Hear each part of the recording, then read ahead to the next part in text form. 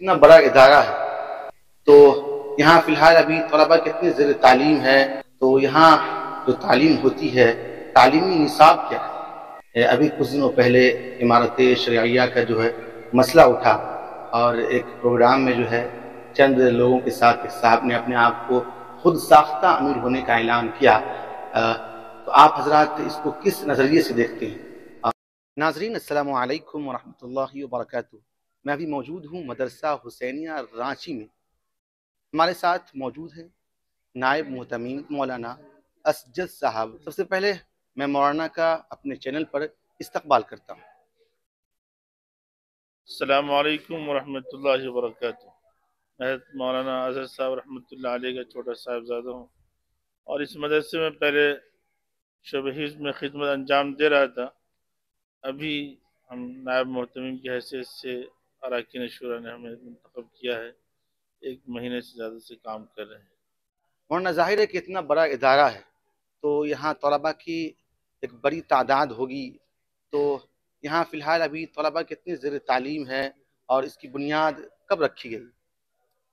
اس مدرسے میں تقریباً اس وقت جو ہے ساڑھے پانچ سو بچوں کا داخلہ ہے اور الحمدللہ انیس سو انٹھاون میں اس مدرسے کی بنیاد ڈالی گئی۔ ابھی یہاں سے پچاس قدم کے فاصلے پہ ایک جامع مسجد ہے، جو کٹو جامع مسجد کہلاتی ہے۔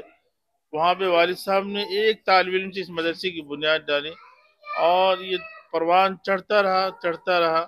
الحمدللہ تقریباً ساڑھے آٹھ، نو سو بچے اس مدرسے میں پڑھتے رہے۔ پھر لاک ڈاؤن نے مدارس کی خاص طور سے کمر توڑی۔ ابھی بھی الحمدللہ ہمارے پاس ساڑھے پانچ سو بچوں کا داخلہ ہے، الحمدللہ۔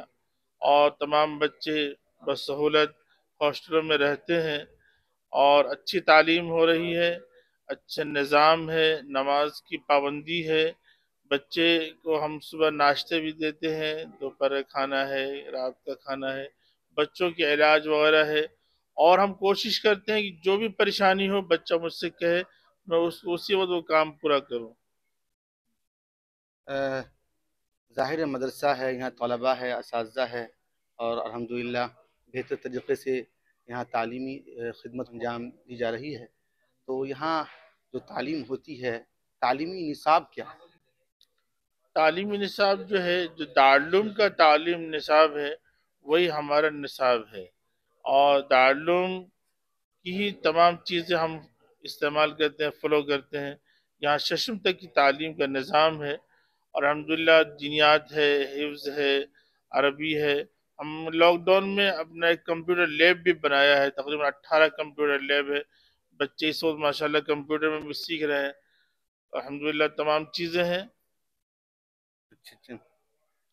یہاں جو طلبہ زیر تعلیم ہے عربی درجات میں ان کو عربی پر عبور حاصل کرنے کے لیے آپ حضرات کس طرح کی کوششیں کرتے ہیں؟ یہاں پر ہمارے پاس بچے ابھی عربی میں کچھ کم ہیں۔ ہم یہاں پہ النادی الادب العربی انجمن قائم کیے ہوئے ہیں۔ اس میں بھی بچے حصہ لیتے ہیں۔ اور اور بھی طریقے سے بچوں کا مکالمہ، مسابقہ وغیرہ کراتے رہتے ہیں۔ اس سے ہی بچے کو کوشش کرتے ہیں کہ بچے زیادہ سے زیادہ انگلش پر عبور حاصل کر سکیں۔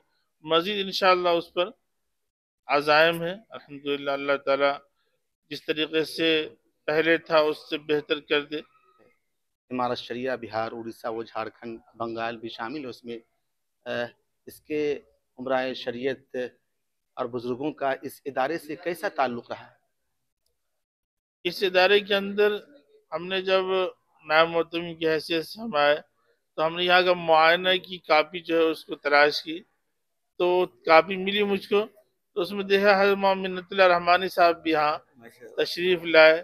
اور والد صاحب سے جیسا کہ والد صاحب مجھ کو بتلاتے تھے کہ میرا ان سے بہت اچھا تعلق تھا، وہ بھی کبھی کبھی آتے تھے، یا محمد اللہ رحمانی صاحب اور اس طرح ولی رحمانی صاحب۔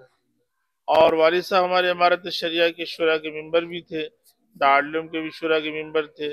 اور رحمانی صاحب جب بھی راجی تشریف لاتے تو گاہے بگائے تشریف لاتے۔ اسی طرح مولانا نظام الدین صاحب جب بھی رانچی تشریف لاتے وہ یہاں ضرور تشریف لاتے۔ اور حضرت بہت دعا دیتے تھے اور کہتے تھے، یہاں جب میں آتا ہوں تو میرا دل باغ باغ ہو جاتا ہے۔ جی۔ ایک آخری سوال لے لیتے ہیں، اس کے بعد انشاءاللہ وہ اپنی بات کو مکمل کر لیں گے۔ ابھی کچھ دنوں پہلے عمارت شریعیہ کا جو ہے مسئلہ اٹھا اور ایک پروگرام میں جو ہے چند لوگوں کے ساتھ ایک صاحب نے اپنے آپ کو خود ساختہ امیر ہونے کا اعلان کیا۔ تو آپ حضرات اس کو کس نظریے سے دیکھتے ہیں؟ اور عمارت شریعہ کے کہیں آپ لوگوں کے کیا تاثرات ہیں؟ عمارت شریعہ ایک ایسی جماعت ہے، اللہ والوں کی جماعت ہے۔ سجاد صاحب رحمۃ اللہ بہاری رحمۃ اللہ علیہ اس کے بانیین میں سے ہیں۔ ان حضرات نے شروع سے لے کے آج تک بہت اچھا انداز میں گاؤں گاؤں میں کام کیا۔ میرا جو آبائی وطن ہے، وہ مدھو بنی ہے۔ میں جب حافظ ہوا تو گھر پہ تھا میں رمضان میں، تو چاند رات میں کچھ لوگ میرے پاس آئے رات کے دس بجے اور کہا کہ بھائی فنا گاؤں میں تراوی کی یعنی عید کی نماز کے لیے جانا ہے۔ میں کبھی عید کی نماز پڑھایا ہوا نہیں تھا۔ ان لوگوں نے کہا نہیں، آپ کو پڑھانا ہے۔ جب میں وہاں گیا، وہاں جا کے نماز پڑھایا، دعا ہوئی، تو چند احباب کھڑے ہوئے اور کہا کہ بھائی عمارت شریعہ کا چندہ دو۔ میں کہا کہ عمارت شریعہ کون ہے؟ موسو بارہ، چودہ سال یا پندرہ سال کا تھا۔ زیادہ عمر بھی نہیں تھی، نہیں جانتا تھا میں۔ تم لوگوں نے کہا، عمارت شریعہ، بہار، جھارکھنڈ، اڑیسہ اور بنگال کی بڑی جماعت ہے اور مستحکم اور منظم جماعت ہے۔ تو اسی دن سے مجھے یہ بات معلوم ہوئی۔ اور مدرسہ محمود العلوم، جو ہمارے دادا معاشرف الدین صاحب رحمۃ اللہ علیہ ادریس صاحب رحمۃ اللہ علیہ، حافظ یاسی صاحب، ان تینوں اکابرین نے مدرسہ محمود العلوم دملہ کو قائم کیا۔ اور اس میں تیسرے جو تھے وہ ہمارے دادا معاشرف الدین صاحب اللہ علیہ تھے، وہاں بھی دارالقضا کا زبردست اور مستحکم نظام ہے۔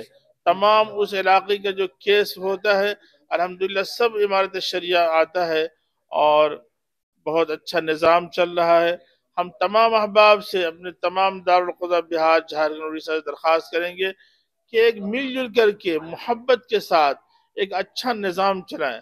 ہم غیروں کو دیکھیں کہ غیر کوئی قانون نہیں ان کے پاس، کوئی نظام نہیں، لیکن وہ آپس میں ایک ساتھ مل جل کر کے ہیں۔